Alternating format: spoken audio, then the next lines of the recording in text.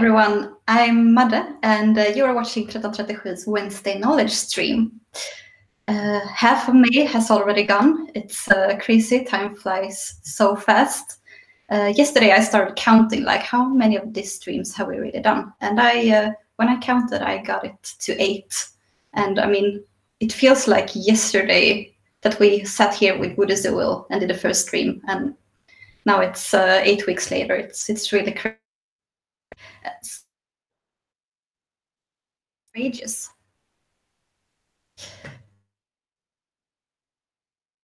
We have some streams coming rest of May. We will have, but uh,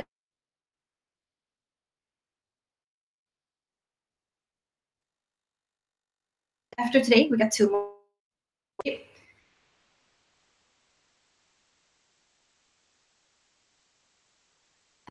I will run a PI planning together with my team. So it's a big thing going on. But uh, I have my colleague Andreas Sedström joining, which will um, uh, hand over and present the stream. And I'm sure he will do a great job. Um, but let's not talk too much about the future. Let's talk about today. Um, we're here now um, because um, we're about to listen to some intro to functional programming. And we are here together with my colleague Johan Olsson, who is a software architect, developer, and a beer enthusiast. So, uh, hi, Johan. Hello. How are you doing today? I'm sorry, I can't hear you right now because my sound is gone. Right, this I works. hear you good. Okay, so um, how are you, Johan? Yeah, I'm fine, thanks. I still can't hear you. This is very interesting. Still no uh-huh. sound? but it seems like you can hear me. So this is a very interesting yes, thing. I can hear you.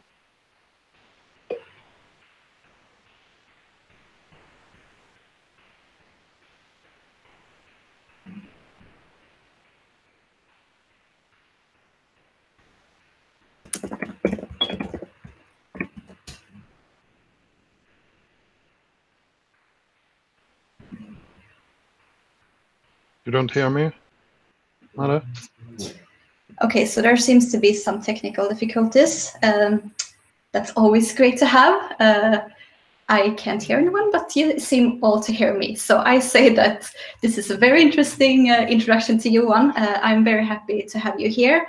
Um, let's not talk too much about this, but I'll say that Johan, please continue and uh, start your presentation now. Yes, okay. I'm here today to talk about functional programming and how you can start use functional programming in your daily work. But first we have to look into what functional programming really is and how it differs from object orienting. And it is another paradigm because functional programming has its roots in mathematics. And while object orienting has its roots in procedural programming or more specifically how a computer works. And that's not really mathematics that's something else. So there is a difference yes. And with functional programming we are doing a lot more declarative and not that much imperative programming. And i'm going to show you some some example of that. And we separate data from behavior. In object orienting, you have data and behavior and data and methods in the same package, but we separate those. That has some implications. I will give you some examples of that as well. We often use data as immutable. That means that data cannot change. Instead of changing data, we create new data. Going to look into that as well. And with functional programming, we really don't want side effects, while object orienting is all about side effects. That is a big difference. And null does not exist in a functional programming world. That has some really big implications, really. And we will look into that as well. And functional programming is much about composition, meaning how you put your program together by combining different functions, composing them. Uh, first, we're going to look into declarative versus imperative languages. A declarative language is a language where you declare what your result would look like. Like in SQL, for example, that's a declarative language. I declare I want the result to look like this. I want the result from table T where some the data conforms to some criteria where TID is, and then I can have some some other declaration. This is what result I want. I don't care or even know how the database does to, to re receive this result, but that's the result I want. Now, hey, computer, go go figure out how to get my result. Whereas in imperative language, we declare, oh, oh sorry, we do each step. For in the C sharp example here, which is a naive implementation of the SQL, where we create a list, we iterate over the list, do some ifs and create a new list and iterate over that. And finally, we have a result. So we do this, do that, do this third thing, and then finally we have a result that is hopefully what we wanted from the beginning. Uh, here's another example. XAML, or HTML for that matter. Uh, I declare I have a grid and inside the grid, there's a button with the content OK on it. That's what I want. That's the UI that I want, how it should look like. Whereas in an imperative language, I would have to create the grid, create the button, set the button content, add the grid, sorry, add the button to the grid. So each step to get what I want in the left side when the XAML, I just say, I want a grid with a button inside. I don't care how you do. Computer, figure it out how to do that. I don't care. That's a big difference. And with function, uh, we separate data from functions. So we have some data and we have a function that operates on that data. And it creates a new data. Whereas in object orienting, we mix data and functions together. And with uh, polymorphism, this can get quite confusing. I call function one on the class A, but it really wasn't a class A, it was a class B, so I get something else. And that can be quite confusing, whereas the functional is, is more straightforward. We have a data and we have a function, that belongs that the function operates on the data. And we also use immutable data. And that means data cannot change. Instead, when you take some data into your function, you return something else, a new piece of data. And that means your code is more predictable You put something in, you get something else out. And that means it's more easy to reason about what really happens in this function, what it really does, because there's no side effects and there's no change. You get have data in, data out, that's it. And that makes it easier to work with. You need fewer unit tests. There are no state that has to be set before or no state that has be, to be checked after you, you call them the function. You have the data in, the data out, that's it. And it really forces you to think a bit different because you don't change data, you transform it to something else. So I would like to say that a function does not return data, it produces something new. So you send a something in as a parameter, and the function will produce something else as a return value.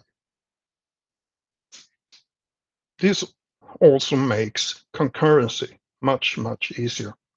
If you have data that cannot change, then I can take one piece of data and give it to that thread.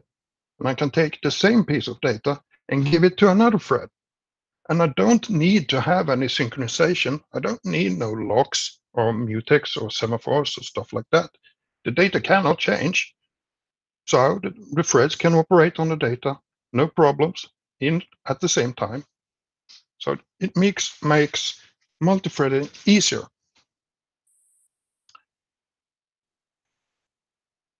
And with functional programming, we talk about impure and pure functions. A pure function always returns the same result with the same input every time we call it. And a pure function also hadn't have no side effects. And with side effects, we mean network calls or I/O, creating database calls or reading files or or changing something. Like if I call a function that reads something from a database, if I call it one more time, then I might get something else because someone else has been adding things to the database in between my calls. So that is not a pure function because it then gives different results. Also, if I print something to screen, I print to, to the console. If I call it one more time, then I have two lines on my console, which is not the same thing. So all IOs is impure functions. Now, as functional programmers, we prefer pure functions because they're easier to understand, easier to reason about, but we must have impure functions as well because a program that does not have any IO is more or less useless. So we must have pure impure functions as well, but we like to minimize how much impure functions we really have. And we have no nulls. Null does not exist. And the null is often referred to the billion dollar mistake. And a function will always take one parameter or more, and it will always return a value. Now, how can we work with that? How can we understand what that really means? To do that, I would like you to consider this. Say we have a two-dimensional value space, a two-dimensional coordinate system. One point in this system, one value in it, denoted as x and y, that is a, the input to function f here. So f takes one value, the x and y coordinate. Or you could also say that f takes two parameters, x and y. That's how you choose to see it. If you have a one-dimensional value space, just one x-axis, then one point in this one-dimensional coordinate space is just the x parameter. So the function g here, it takes one parameter, one value.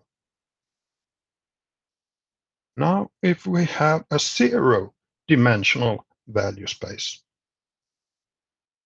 and there is a value in there, there is one and only one value in the zero-dimensional space, and that value is called unit.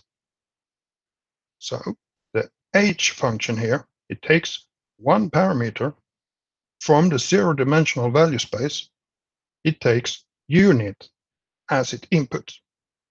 So every function here takes one parameter. And if we can have unit as an input value, we can have unit as a result from a function as well. Another way we must handle is when we could create different types of return values. And then we must use what is called a monad. And a monad is a strange word, but what it really is, is a design pattern. Just as we have some patterns that we use in object orienting to solve different problems, we have patterns in functional programming as well. And monad is one of them. Now, consider this. Say we have a function, a find customer function. And if we find the customer, then we should return it. But if we don't find the customer, then what shall we return then? There is no null. And here I have some Elm code. And Elm is a functional programming language. It compiles to JavaScript, and you can run it in the browser. And here, the first line is a function declaration. It declares that we have a function called find customer. It takes string as its input, and it will return something. I will fill that in in just a bit. And the second line, that is the function implementation. It's a find customer. Find customer is the name of the function. Name is the name of the parameter. And as we have declared, that name is a string. Then we do something, we read a database or, or whatever. But what shall we return here if we don't find the customer? Let's look into this. The maybe monad can be uh, expressed in Elm like this. We have a type called maybe with a value, and that is just a value or nothing. You can think of this as an enum.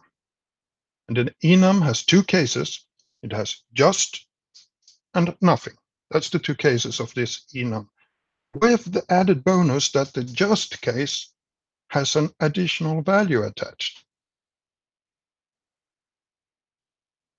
The best thing you could do, or the most equal thing you could do with an object-oriented language would be something like this, where we have an abstract class called maybe, and one concrete implementation called just with a value property, and another concrete implementation called nothing. And we will always return either an implementation, either just instance or a nothing instance. That's what the function will return. So we can declare our function like this. Find customer, takes string as an input, and returns maybe customer. That's the data type. The implementation will then be find, find customer name equals, and then we do the actual database call. And if we found it, then we will return just customer, else nothing. Think of this as a box. The box may contain a customer or the box may be empty, but you will always get a box back from this function. This function will always return a box. Then you will have to look into the box to see if you really got a customer or not, but you will always get a box. There is more to the monad pattern than this, but I don't really have time to explain it uh, in detail. But that's the simplest explanation. And it's a bit naive, but well, let's keep it at that for now. Now, if I want to use the result of the find customer function, let's say I have another function that will get the name then I take maybe customer as an input to my function, and I return a string. The implementation here, get name x, x is the, the box, if you will. And here I must look into the box with a case switch and say, if it was just customer, all right, then I can take customer.name to get the name of it. If the case is nothing, then I have no name. I can return that string. And the good thing about this is that the compiler requires you to check all cases. You must check the just case and you must check the nothing case. So you can't have a case where you forget to handle one of these. You must always do it. And the find, find customer function in an object-oriented language is often implemented or typically implemented as if we find the customer, we return it. If not, we return null. And then let the caller handle that null in a way. Here, we can't do that. We must handle both. You can't forget to handle the nothing case because the compiler won't let you. So we have effectively moved the null reference exception from runtime to compile time. And the compiler won't let you get away with it, so you must handle it. And there is no null reference exception in a functional language. It can't exist. So this means that a function always returns a value, and you must explicitly declare that you might return a missing value by using the maybe monad or some other construct. And you must explicitly handle all missing value in, in your function input. The compiler won't let you make, make mistakes here. And that's a good thing. Now, if we look into composition, and that's how we put functions together to build a program. And we have, let's say we have a program that takes some input, does something, and returns some output. And this is almost what every program in the world looks like. If it didn't look like this, then it would take some input and don't don't do any output at all. And that would be kind of useless. Or it would be that it didn't take any input and produces some output, and that can't be anything else but a random generator.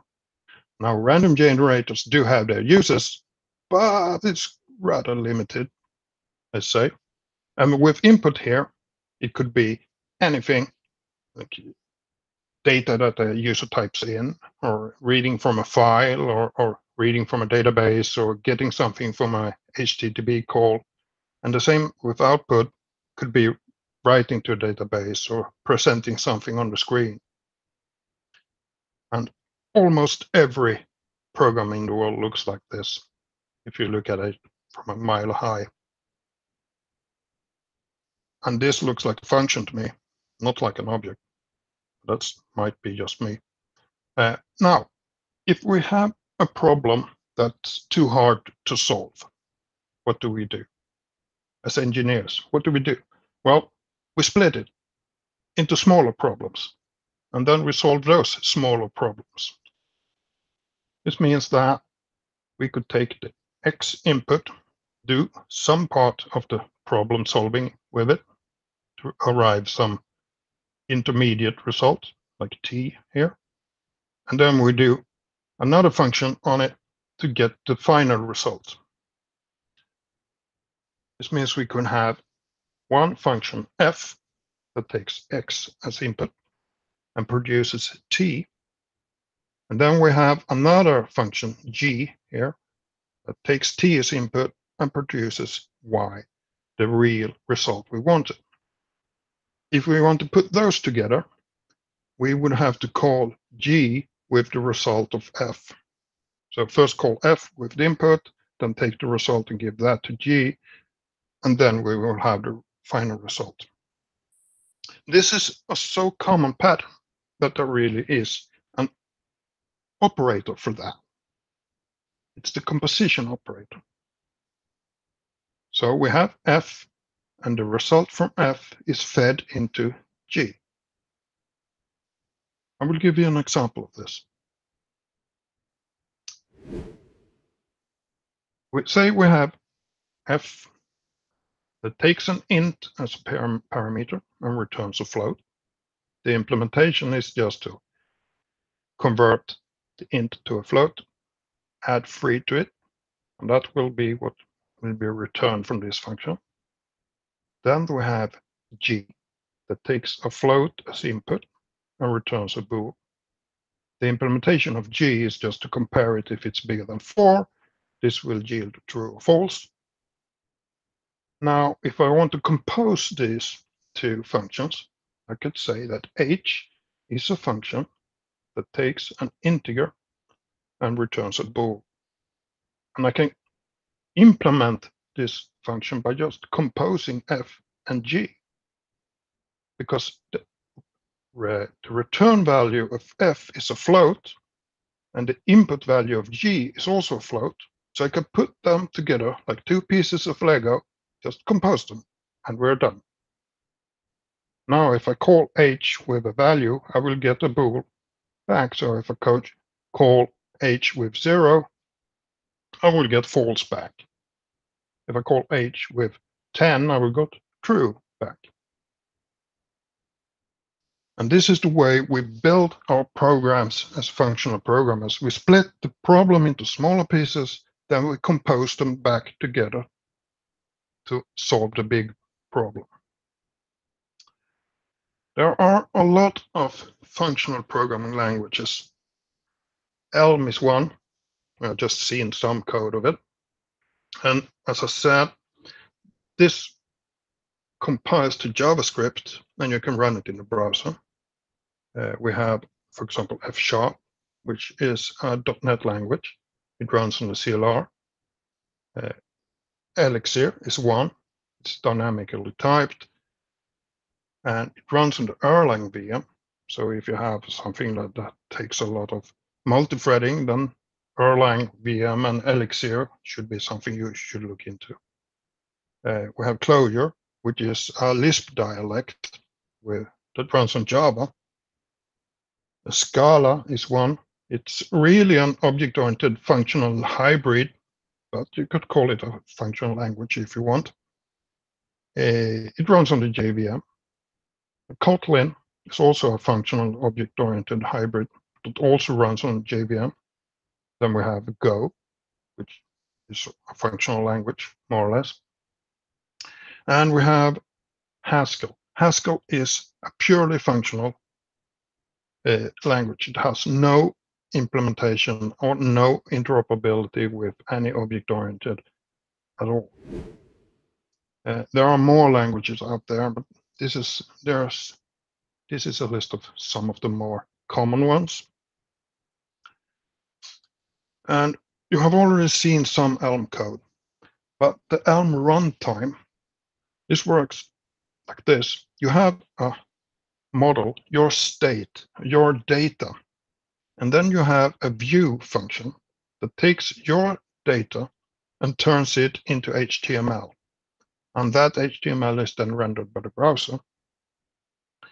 And then you have an update function, a function that transform your state together with a message from the browser. A mes message might be the user clicked the button, the user typed some data, or uh, an HTTP call came back from the browser, from the server with this data.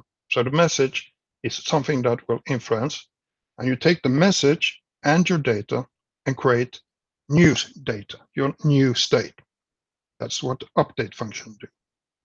Then you feed that into the view function again, and you get new HTML that's that is rendered by the browser again. And round and round we go. And if you are a front-end developer, I highly recommend looking into Elm because it's really great where you don't have any runtime errors because those errors are already caught by the compiler. Uh, look into this if you are a front-end programmer. If you are a back-end programmer, especially if you are on the .NET stack, I highly recommend looking into F Sharp. F Sharp and Elm are quite similar in their syntax. They are not the same, but they are, are quite similar. And in F Sharp, we use the let keyword to define our functions. And here I have a function called square. It takes one input parameter. The compiler will figure out what the sorry what the types are. So in F sharp, we often don't have to explicitly declare what the types are.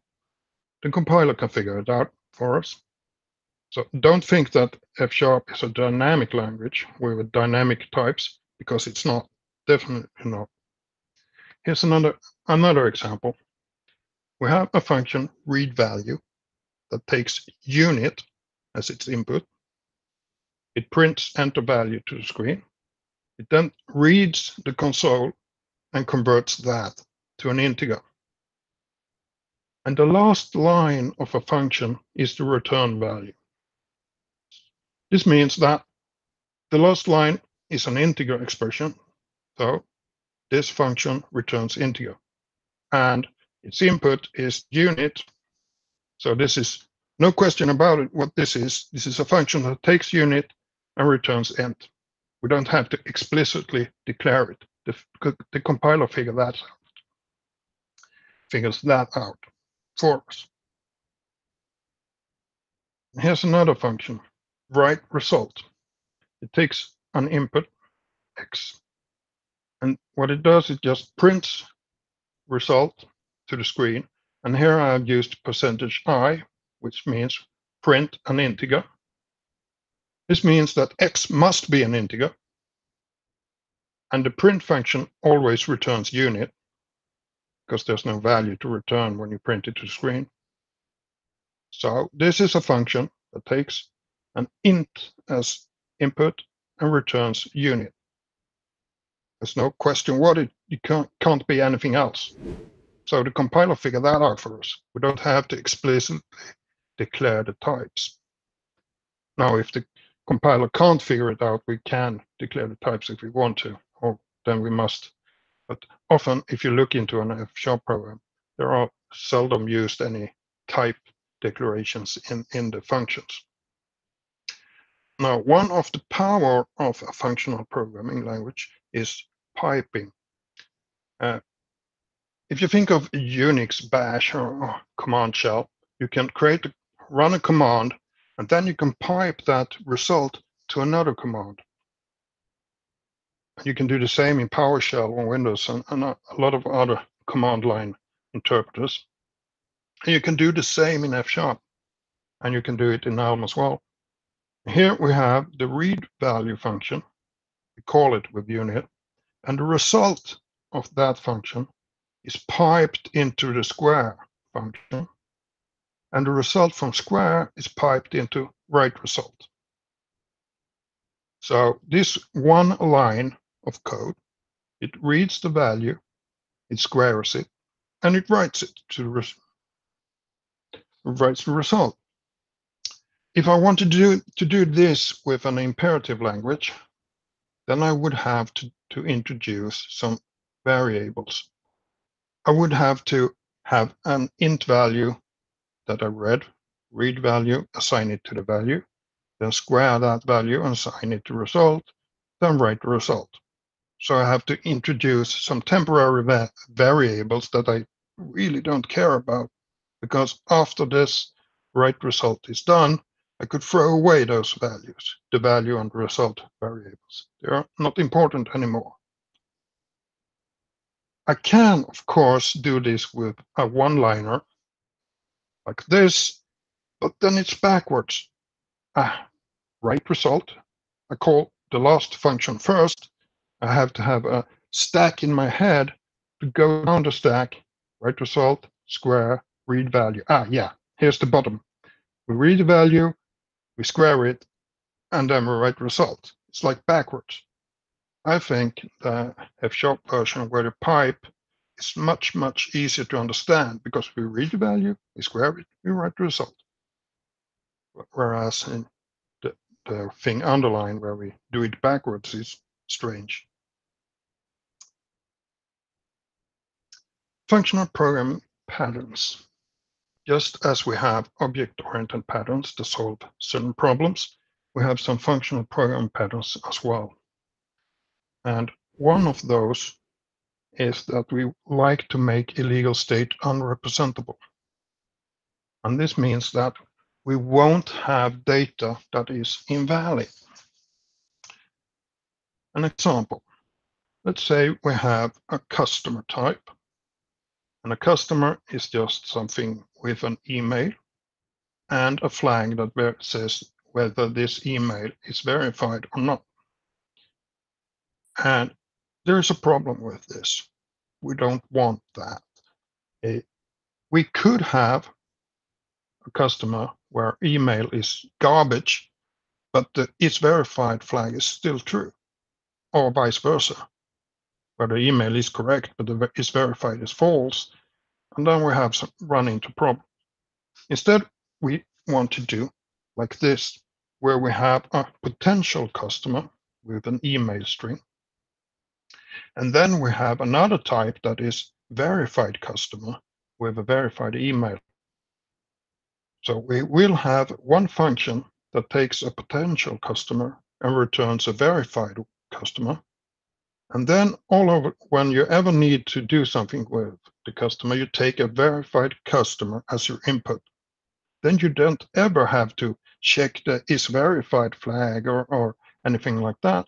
Just, well, if it's a verified customer, then it is correct, always. Another example of this would be, let's say we have a contact, and the contact is a name, an email, and a phone number. Now we have a business rule that says a contact must always have email or phone or both. Okay, we can do that like this. And this is F sharp, by the way. And in F sharp, the maybe monad is called option, but it's really the same thing. If we would implement this in Elm, it will look like this. We have a name, an email that's maybe email address, and phone that's maybe phone number. They, these two are equivalent. It's the same thing. Left is F sharp, the right is Elm. Now, the problem with this is that we could create data. We could create a contact that has nothing as email and nothing as phone. Well, that breaks the business rule. We don't want that. Instead, we would declare the data like this. We create a type contact info that is just like an enum. It's email only with an email address attached. It's phone only with the phone number. It's email and phone with email and phone number. It's always one of these three cases. Now we can't create illegal data. We can't create a case where there is no phone and no email because that doesn't exist. And there are several advantages with this. One is that, as I said, we can't create data that does not fulfill our business rules, meaning that once I have a contact info, I can be 100% sure that it is valid. I don't have to do input validation in all my functions to, to see that the contact info is correct. It is, because you can't create data that is not. That simplifies a lot. I don't have to do any input validation in my functions. Of course, I will do, have to do it once somewhere to create the data if I take some input from a, from a, from a user and then validate it. If it's correct, then I create the contact info. All over, mm, and that's only one and one time only. Another advantage of this is that you must always handle all cases. Let's say that we create a function that will send email to our customers. Then we take the contact info and yeah, if it's email only, we use the email address. If it's email and phone, we also use the email address. But it, if it's phone only, we can't forget to handle that case because the compiler will require you to handle all cases. So the phone only case, what do we do then? Yeah, well, maybe we should send a text message instead. Or maybe it's okay to just ignore those customers that doesn't have an email. That's up to you. But you cannot forget to handle that case, which means your program will be more correct. Also, another advantage is that the business rule that says we must have email, phone, or both is documented right here in the type. I don't have to look into the code and go uh, finding if there's an if statement somewhere that verifies uh, the data or something. You can't create invalid data. It's right here and it's documented. Huge advantages another pattern. And here we go back to the object-oriented world. Active record pattern is hopefully known to most of you. It is a pattern where we have, for example, a class user, which has some data, an ID, an email, a name, a phone number, or whatever. And this class also have some methods. In this case, it's methods to update and create and delete the user from the database, which means this user object knows how, how to create and modify itself in the database. Perfect example of an object-oriented pattern. Well, there is some problems with this. It easily leads to problems because, oh yeah, we need more functions. We need more functionality. We need to, to be able to send emails to the customers. Okay, then we add a send email function method to this class. And then a while later, we, oh yeah, we need to verify credit cards for the users as well. And then we need that data function and that and the, this class grows and grows and becomes a God object or uh, breaks all the rules of single responsibility and so on. So don't do that, please. Just leads to problems. Instead, as object-oriented programmers, we do the service pattern. And the service pattern is that, is that we have the class user with its data, and then instead we have services that operate on the user we have a database service or a user repository that knows how to create or update or delete users from the database. And we have an email service who knows how to send emails to users. Now, take a look at this. What is this? This is functional. We have data and functions that operate on that data. We separate those two. Now, if the object-oriented pattern was bad or easily led to problems, and this service pattern is a better one, then could someone please explain to me why we are clinging to object-oriented languages? Wouldn't a functional language be a better fit when implementing a functional pattern? That's what I think anyway. Now, moving on. Another pattern that we have in functional programming is an impure sandwich or an impure pure impure sandwich, also called. And this works like this, that we we want pure functions as much as possible and as little as possible of the impure. But we must have those impure functions. So what we do is that we first do the impure functions. We call the database, we read the files, we get the input. Then we call the pure functions to operate on that data. We do the calculations, we do the decisions. And when we finally reach a result, we call another impure function to store that result.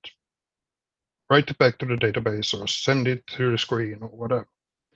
So we want as much good stuff, the pure thing in the middle here, and as little as possible of the impure, but we must have it. And that means this, this looks like a sandwich where we want as much good stuff as possible and as little of the boring bread as possible. And this is called an impureim sandwich. You will might might see this if you start using programming, functional programming. Now, functional programming style. You can do functional programming style with an object-oriented language. You could do immutable data. It's quite possible. You could do that. Uh, you can handle and have functions as first-class citizens. And you can do declarative style with, for example, LINQ. And with the new nullable reference types in C Sharp 8, it gets better. It, it, doesn't get rid of the null, but it's a bit better anyway. There, beware, there are still some pitfalls and gotchas with nullable reference types. But if you do this, it will take a bit of an effort. Immutable data is not by default in, in object-oriented languages. You have to consciously do that with purpose. And functions as first-class citizens, if you pass around functions as parameters and uh, or return functions, which by the way is called higher order function, there is a function that takes a, another function as a parameter or returns another function is called an higher order function. If you do that in an object-oriented language, you will quite fast run into problems because the declarations of types get a bit messy really quickly, actually. So I would say that you should use a functional programming language instead. So why would you use a functional programming language? Because it's concise. It's creates a lot less lines of code. We have seen that the, the maybe monad, for example, took me one line of code to declare in Elm, whereas, whereas I would have to do at least five lines of code in an object-oriented language. And it's convenient. It's easy to create complex types like the, the contact info I showed you. And it's also correct with the types and no null references. This means that the, your program will be more correct. There will be less bugs. I'm not saying that functional programming doesn't have bugs because of course we do, but a certain category of bugs just goes away. They don't exist in a functional programming language, which means a functional program is more correct. Also, concurrency, as I've said, is easier. You don't have to have locks and, and mutexes and, and other stuff to, to share data between your threads. And it also is complete. With Elm, you can use any other JavaScript language or, or package out there. It interops with Elm. The same with F Sharp. You can use any NuGet package from F Sharp.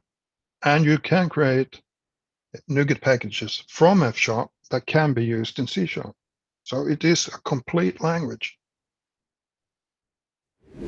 So there's nothing really stop you from, from using functional programming languages. Now, how would you do to go about that? Well, you have to learn it, of course. Experiment with it, evaluate it, and, and do it again. Learn some more, experiment. That that's the only way to do it. How would you then do if you want to use functional programming in your daily work? First, you must have a champion. You must have an advocate, someone who is willing to push for functional programming. It won't happen by itself, push for it. also you should start small. Don't say, oh, we're going to rewrite the whole system in F sharp. Don't do that. Only leads to problems. Start small. Take one little corner of your system or one little component or something and fix a problem. Just don't rewrite something that already already works because that won't give you much value. Fix a problem, something that doesn't work or, or something that is lacking in, in your system. And write code, then talk and discuss and reason about it. Show it to your colleagues and talk about it. Compare it to other solutions and spread the knowledge. And both Elm and F Sharp communities are very friendly. So if you don't hesitate, if you get stuck or have some questions, or so, reach out. There are a lot of people out there who are more than willing to help. So conclusion, yes, functional programming is different from object orienting. And just by learning the functional programming will be, make you a better developer, even if you're still using object orienting in your daily work, because functional programming will make you see things from another angle. And seeing thing, things from more than one angle cannot be anything than good. And yes, the threshold for functional programming is a bit high. It takes some effort to learn it. But as Mr. Roosevelt once said, nothing worth having comes easy. So thank you for listening. I hope you found this inspirational. And if just one of you is now inspired to, to go out and start using functional programming, then I would say that this talk was a total success. Thank you. Thank you so much, Johan. Um, it's great to hear you after a while at least i managed to do that. Okay. It's, uh, it's great to have technical difficulties but uh, i'm glad it was me and not you that had them. Okay. Um, so um, we have some questions for you. Um, yes so uh, is it right to think that functional programming is more suited for data processing uh, and objective for working directly with io and what are your thoughts uh, in regards to this uh, I wouldn't say that that uh, functional programming is not suitable for I/O.